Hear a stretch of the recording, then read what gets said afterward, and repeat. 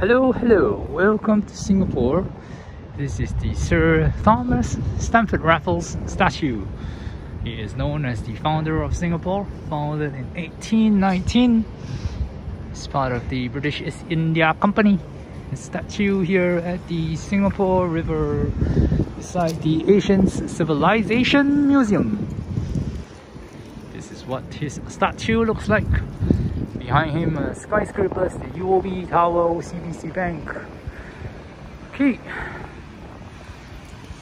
What does it say? On this historic site, Thomas Stamford Raffles landed in Singapore 28th January 1819. We arrived 28th January 1819. It's pretty neat to have a picture this angle Thank you for watching.